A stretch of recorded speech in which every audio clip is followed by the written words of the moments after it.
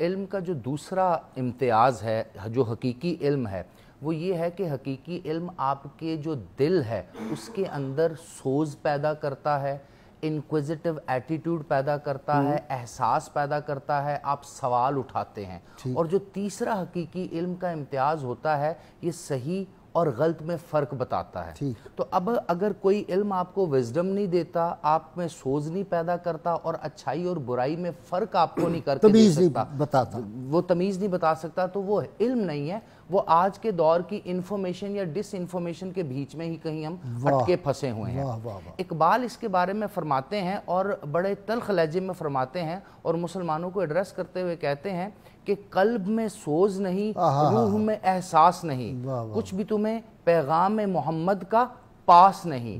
यानी कि आप लोग यानी अपने दौर के नौजवानों को इकबाल कहते हैं कि आप लोग जो इल्म हासिल कर रहे हो उस इल्म ने तुम्हारे जो सीनों के अंदर मौजूद कल्ब है उसमें सोज क्यों नहीं पैदा किया? वो वलवला वो तंतना वो, वो तकलीफ़ वो तड़प वो तुम्हारे अंदर क्यों नहीं आई? और दूसरी तरफ़ तुम्हारे अंदर एहसास क्यों मर चुका है?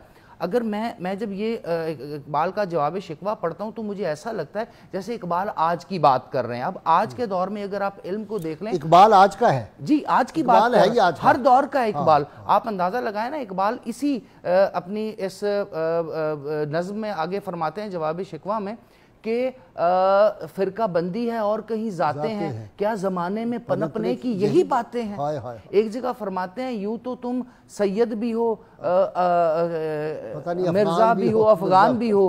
तुम सभी कुछ हो बताओ मुसलमान भी हो। अब यहाँ से हमें यह मालूम पड़ा कि जिन्होंने हमें इल्म दिया है जो हमारी दरस गाहें चला रहे हैं जो हमारी खानकाहें चला रहे हैं जो हमारी यूनिवर्सिटीज़ चला रहे हैं वो इल्म के वो तीन इम्तियाजी असूल तो हमें ना पढ़ाते हैं या फिर शायद वो खुद उससे नाबल्द हैं उनको उससे नाश है उनको वो लोग यूनिवर्सिटी जो जो प्राइवेट यूनिवर्सिटियाँ हैं उनके वो लोग चांसलर वाइस चांसलर होते हैं जो दो लफ्ज़ ना उर्दू के ना अंग्रेज़ी के पढ़ सकते हैं।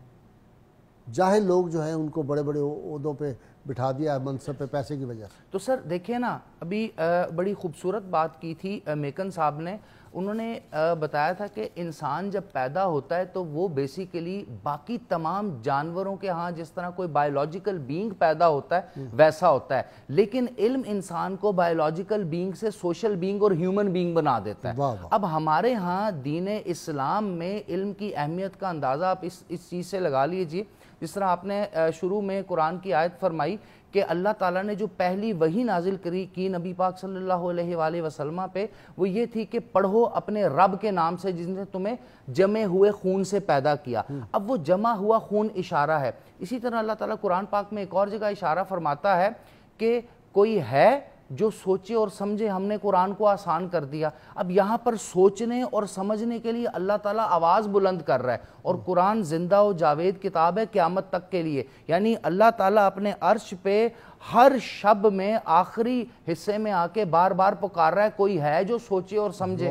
यानी इस वक्त हम जिस मुआशी सियासी समाजी बदहाली पस्ती बहरावी से गुजर रहे हैं बहरान से गुजर रहे हैं कोई है जो सोचे और समझे। अब ये सोचना समझना किसने है? स्कूल कॉलेज यूनिवर्सिटी में समझना है खानकाहों में समझना है मेंबर पे बैठकर खुतबा देने वालों ने समझना है। मैंने और आपने अपने आने वाली नस्ल को इस डिस इन्फॉर्मेशन इस इंफॉर्मेशन इस आज की इस दुनिया की जो कल्चरल इन्वेजन है जो टेक्नोलॉजिकल प्रॉब्लम है इससे हम कैसे बचाएँगे? देखिए ना सर बात यह है कि अगर मैं और आप सब कुछ मशीन की तरह ही अपनी ज़िंदगी गुजारेंगे एहसास फीलिंग्स जज्बात कुछ भी हमें बाकी नहीं रहेगा तो फिर हम एज ए ह्यूमन जस्टिफाई कैसे करते हैं अपने आप को?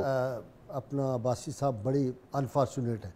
यहाँ मैंने एक दफ़ा एक कुछ स्कॉलर बुलाए हुए थे तो मैंने एक यूनिवर्सिटी के सीनियर उस्ताद से पूछा मैंने कहा ये जो आप लोग लड़ाइयाँ करते हैं जो कोई अच्छी स्टूडेंट खुद शक्ल होती है उस पर लड़ाइयाँ होती हैं कि ये मैं इसका निगरान बनूँगा थीसिस सुपरवाइज सुपरवाइज मैं करूँगा। तो उसका रिज़ल्ट फिर क्या होगा?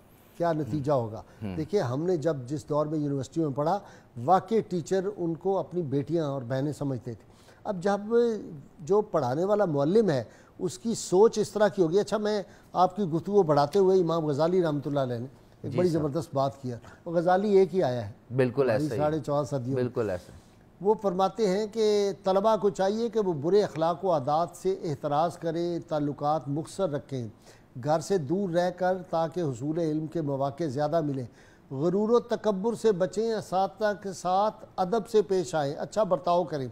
फरमाते हैं कि इल्म अल्लाह ताला का नूर है जो उसके फरमा बरदार बंदों को मिलता है और लिहाजा इस नूर से अपना सीना मुजयन करने वालों को चाहिए कि वो इल्म की कदर करते हुए बुराइयों से इजतनाब करें।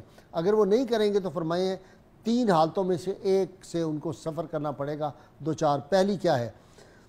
एन आलम जवानी में मर जाएगा बद किरदार होगा अगर। नंबर दो वो हैरान परेशान दर दर की ठोकरें खाएगा अपने इल्म और काबिलियत और सलाहियत से किसी को फ़ायदा पहुँचा नहीं सकेगा जो आजकल हमारी दरगाह में हो रहा है। तीसरा या किसी बादशाह सरमायादार की खिदमत में ज़िल्लत की ज़िंदगी गुजारने पर मजबूर होगा। मैंने तो पता नहीं कितने परसेंट लोगों को ये देखा है कि साहिबान इकतदार के सामने ना उनका दीन ना कोई ईमान ना सरमायादार के सामने जो वो कह दें वही ईमान है लेकिन उसी सर, की इंटरप्रिटेशन इसके पीछे भी जो गलती है वो मेरी और आपकी या फिर अनफॉर्चुनेटली पाकिस्तान बनने के फ़ौर बाद जो हमें स्टेप्स लेने चाहिए थे वो हमारे आबा की कुछ ऐसी गलतियाँ हैं जिसको देखें अब हम भुगत रहे हैं। जिस तरह मैं अगर कुछ बुरा करूँगा तो आने वाली नस्ल उसका खुमियाजा भुगतेगी। अभी अगर हम गौर से देखें तो अभी तक ये आइडियोलॉजिकल इशू ही हमारे यहाँ अकेडमिक डिबेट में सेटल नहीं हो सके कि पाकिस्तान बनाए दो कौमी नज़रिए पे।